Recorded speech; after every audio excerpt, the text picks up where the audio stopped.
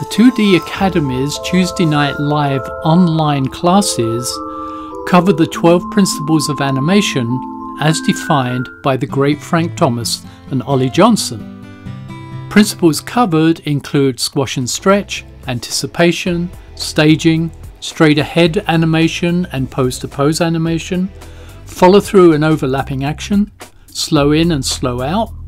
animating on arcs, secondary action, timing, exaggeration, solid drawing, appeal, plus a few new ones that are more relevant to this modern age, including balance, generic walking, and superimposition.